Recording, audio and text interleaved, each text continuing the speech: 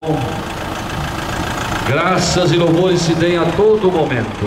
Ao Santíssimo e Diviníssimo Sacramento. Graças e louvores se deem a todo momento. Ao Santíssimo e Diviníssimo Sacramento. Graças e louvores se deem a todo momento. Ao Santíssimo e Diviníssimo Sacramento. Glória ao Pai, ao Filho e ao Espírito Santo. Como era no princípio, agora e sempre. Amém. Vamos repetir bem alto. Bendita e louvada seja Bendita e louvada seja as Santíssimas Chagas as Santíssimas Chagas do Corpo Santo de Jesus. do Corpo Santo de Jesus. Glória ao Pai, ao Filho e ao Espírito Santo. Glória ao Pai, ao Filho e ao Espírito Santo. Amados irmãos e irmãs, a nossa fé no corpo santo de Jesus é o ápice da nossa caminhada para a casa do Pai. vai abençoando o nosso comércio, que principalmente vai abençoando o nosso interior. Coloque o seu coração diante de Jesus Eucarístico nesta noite. Não é apenas mais uma caminhada, mais uma procissão, mas é o Senhor que está conosco. Este Deus que nos abençoa, este Deus que quer nos tocar, que quer nos abençoar nesta noite. Deus de amor, nós te adoramos neste sacramento. Corpo e sangue que fizesse nosso alimento. És Jesus, prisioneiro.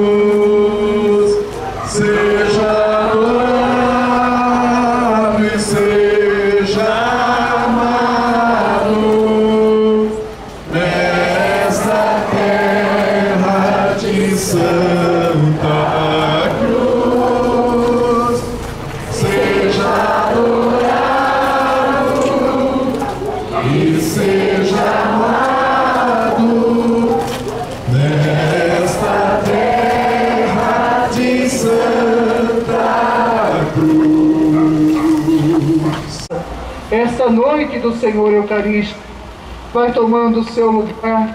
Espera Jesus passar por você. Vai adorando o Senhor. Vai agradecendo mais um ano você estar aqui. E Jesus caminha conosco.